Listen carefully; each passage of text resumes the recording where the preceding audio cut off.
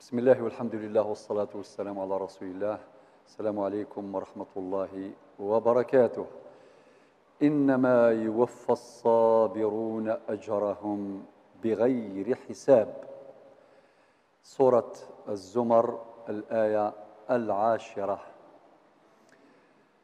إخواني الكرام أخواتي الفاضلات كلنا في حاجة ماسة إلى هذا الزاد المعين على مشاق السفر.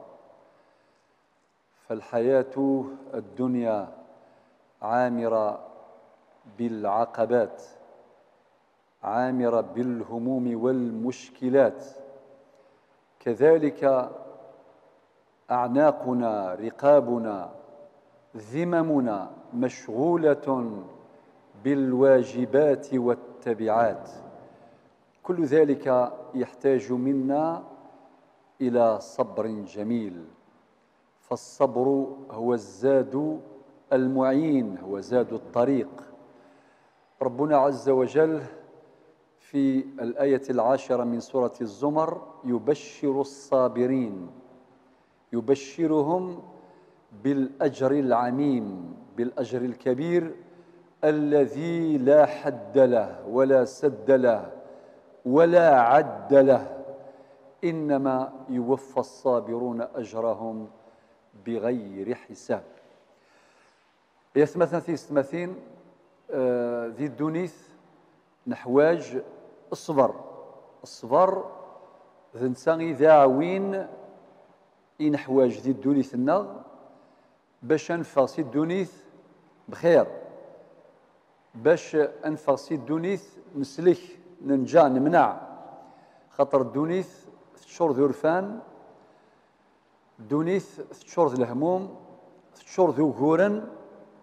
أماكن دغلنت الواجبات صليث العشور رمضان الحج إلى آخره واجبات الخاصة داخل توشولت الواجبات النغر توشولي النغر سي ذرمان النغر ثوثري النغر العرش النغر ثمورث النغر الدوني مرة. خاطر نسعى يكل إنتماء. أمذان ينتمي إلى أسرته. أمذان يسعيش توشولتيس يسعى الواجبات. أمذان يتعيشي ذي الحمى أن يتسيذير ينتمي إلى حيه إلى حومته. له واجبات وتبعات. أمذان ذمذان داخل داخل بذروميس داخل تدرثيس داخل عرشيس داخل تمورثيس الإنسان له انتماءات متنوعة انتماء إلى أسرته إلى مجتمعه إلى حيه إلى قريته إلى وطنه بل إلى الأسرة البشرية قاطبة لأننا بشر. وقد قال ربنا عز وجل في سورة الحجرات في الآية رقم 13 وجعلناكم شعوبا وقبائل لتعارفوا إن أكرمكم عند الله أتقاكم. ذينمي ربي سبحانه عز وجل يسفرح الصابرين. سلاجرام قرآن ستواف أم قرآن ودينا شحال ودينا لا قنطار ولا ذرار ولا سيني ذرار. إناد بغير حساب. سورة الزمر الآية العاشرة إنما يوفى الصابرون أجرهم بغير حساب. الأنبياء والمرسلون هم صفوة الخلق. ربنا عز وجل ابتلاهم بما يشاء وقد واجهوا تلك الابتلاءات بالصبر الجميل وبالنفس الطويل. هذا شيخ الأنبياء نوح. شيخ الأنبياء نوح عليه الصلاة والسلام يجرب ربي سبحانه. أما كان يجربك يجرب يمشقعني ينس أما كان يجرب يمولهن تالسة يعني الأنبياء والرسل. 950 سنة وهو يدعوهم إلى التوحيد.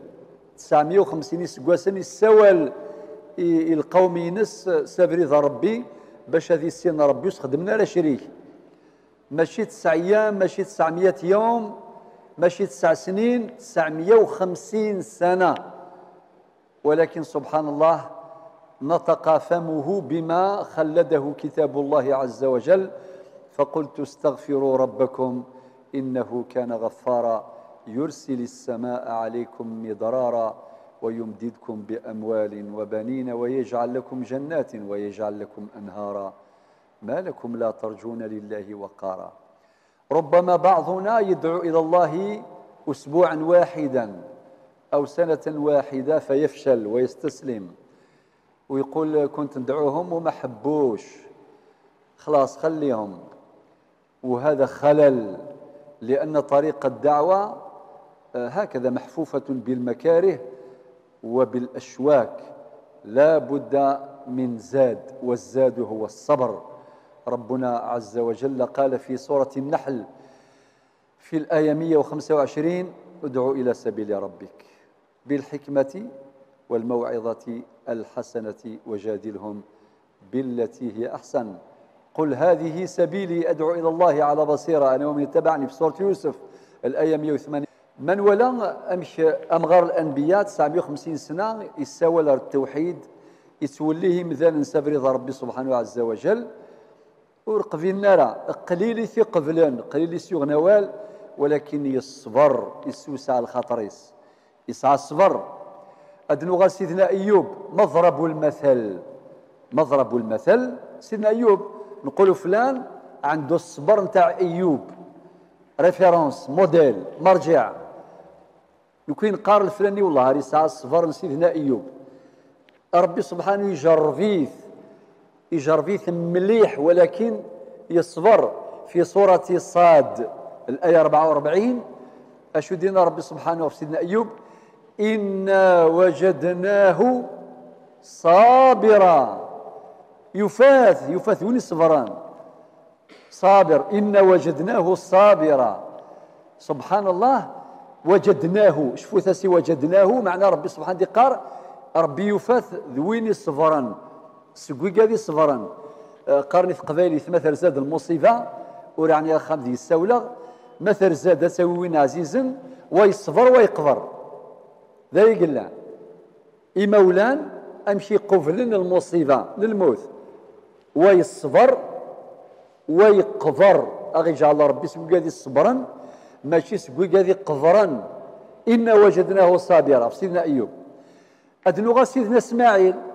ميسينا بافاس إبراهيم يسورقا أكزلو إنا يسورقا ذي المنام يوحي ضرب أكزلو أه وري قبلن التجربة مثاقي وري قبلن الاختبار ماقي من يتقبل هذا الابتلاء وهذا الاختبار؟ هو اختبار دقيق عميق صعب ثقيل. ولكن أه سيدنا إسماعيل واش قال باباه؟ كما في سورة الصافات الآية 102 قال يا أبت افعل ما تؤمر ستجدني إن شاء الله من الصابرين.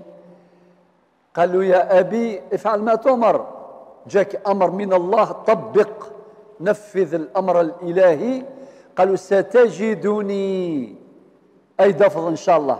كما قلنا على سيدنا, سيدنا أيوب ربي قال إن وجدناه صابرا. وهنا سيدنا إسماعيل واش قال؟ ربي سبحانه على لسانه. قالوا يا أبت افعل ما تؤمر. ستجدني ستجدني إن شاء الله من الصابرين. إذا نذكر ذلك من قصص الأنبياء على سبيل التمثيل لا على سبيل الحصر والأنبياء كلهم جربوا. جرب إبراهيم الخليل بالنار المحرقة كما تعلمون التي حضرها وهيأها الكفار والمشركون.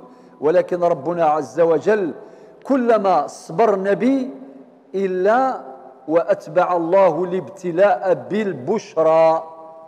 دائما هاو قال رب سبحانه واش قال للنار التي ستحرق إبراهيم حسب تخطيطهم. قلنا يا نار كوني بردا وسلاما على إبراهيم. ربي الناس مستني الصرغان يدهقان الكفار إبراهيم الخليل باش هذه رغ خاطر يمي يساوال سافريث التوحيد سافريث الإيمان ربي يمر ثمست وثمست آه، جند من جنود الله. وما يعلم جنود ربك إلا هو. ولله جنود السماوات والأرض. إن يسثمست كوني إليكم بردا وسلاما على إبراهيم. لو كان دينا بردا بالك هذه مثل هذه كونجلي. هذه مثل البرودة ولكن ربي رنيس وسلاما كوني بردا وسلاما على إبراهيم. إذن كل صبر يأتي يعني آه، الابتلاء معه الصبر وبعد الصبر قارنك الصبر ينال البشرى. هذه بشرى والأمثلة كثيرة تترى نبينا صلى الله عليه وسلم أيضا ابتلي كما ابتلي غيره. آه، ربنا قال فاصبر وما صبرك إلا بالله. يعني في آه، سورة النحل الآية 127 وربي قال فاصبر كما صبر أولو العزم من الرسل. سورة الأحقاف الآية 35 ربنا عز وجل يخاطب النبي عليه الصلاة والسلام بقوله فاصبر كما صبر أولو العزم من الرسل. إذا إخواني أخواتي ربنا عز وجل أمر النبيين والمرسلين بالصبر وأمرنا نحن أيضا بالصبر. ولكن سبحان الله يوم حنين آه، حدثت حادثة آه، ألحقت ظلما بالنبي المصطفى صلى الله عليه وسلم. وقد اتهمه أحدهم في عدله بعد أن أشرف بنفسه على قسمة الغنائم. فقال ذلك الإنسان قسمة لا عدل فيها. يعني يوم حنين عليه الصلاة والسلام مي قفضا الغنائم يون سي الحاضرين إناس القسمة يجي وثا ذلالة يعني ويقسم النبي عليه الصلاة والسلام. ذا هو القريحة ذا هو الزين مليح. ولكن نبينا صلى الله عليه وسلم حينما بلغه الخبر قال من يعدل إذا لم يعدل الله ورسوله.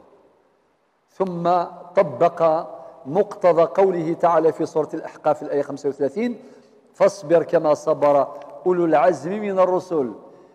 كيما نحنايا كي يكون واحد مبتلى نقولوا اصبر كما صبر فلان. نحتاج إلى ريفيرونس في حياتنا.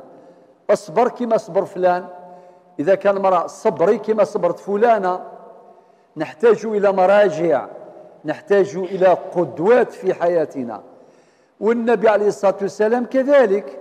ربي قال اصبر كما صبر أولو العزم. وأولو العزم هم خمسة كما تعلمون. نوح شيخ الأنبياء إبراهيم خليل الرحمن موسى كليم الله عيسى المسيح محمد عليه الصلاة والسلام جميعا هؤلاء هم أولو العزم من الرسل.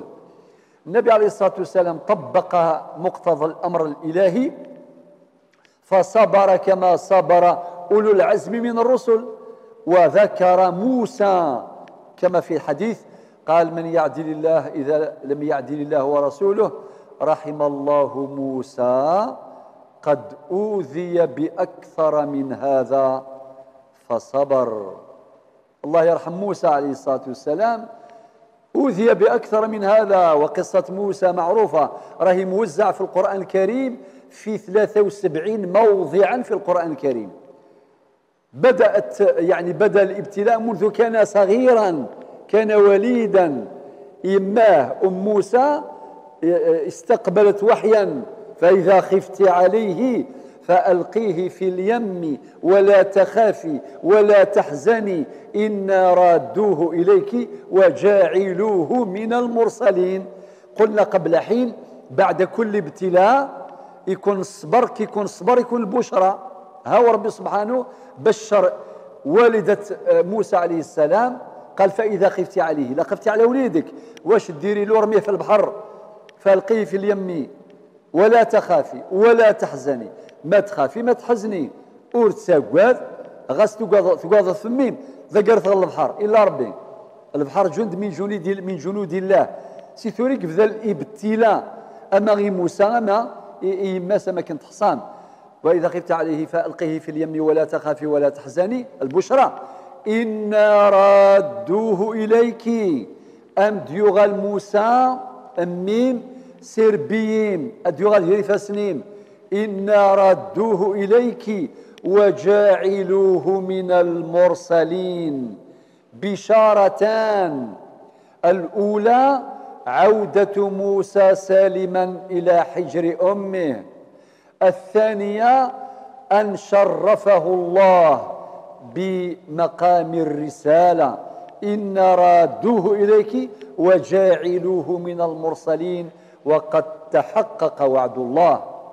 اذا الأنبياء كما قال النبي عليه الصلاة والسلام الأنبياء أشد الناس بلاء ثم الأمثل فالأمثل. النبي عليه الصلاة والسلام غادي قار الأنبياء يجربيثن ربي مليح عطاس من بعد كني إثم يزوارم ثم الأمثل في الأمثل أوين يفغانا ذيلي. أكذ الأنبياء ذي يوم القيامة غادي الصابرين. ومن الذين أنعم الله عليهم كما في سورة آه، النساء في الآية 69 من النبيين هؤلاء الذين أنعم الله عليهم. من النبيين والصديقين والشهداء والصالحين وحسن أولئك رفيقا. إذن هذه بشائر تعقب الصبر. بل تعقب الصابرين بعد صبرهم أمام الابتلاءات مهما تنوعت ومهما تعقدت ومهما كثرت. ولكن هذه البشرى أيضا تلحق جميع الصابرين كما قال ربنا عز وجل في سورة البقرة في الآيتين 155 156 ولنبلونكم بشيء من الخوف والجوع ونقص من الأموال والأنفس والثمرات. وبشر الصابرين الذين إذا أصابتهم مصيبة قالوا إنا لله وإنا إليه راجعون. والبشرى الكبرى للصابرين تكون يوم القيامة إن شاء الله. كي يدخلوا الجنة ربي واش يقول الصابرين؟ يقول لهم سلام عليكم بما صبرتم. سلام عليكم بما صبرتم. فنعم عقب الدار. أستودعكم الله الذي لا تضيع ودائعه. والسلام عليكم ورحمة الله وبركاته.